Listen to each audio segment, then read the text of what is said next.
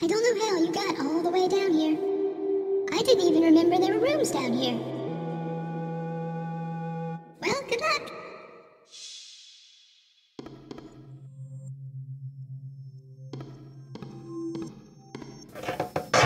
luck.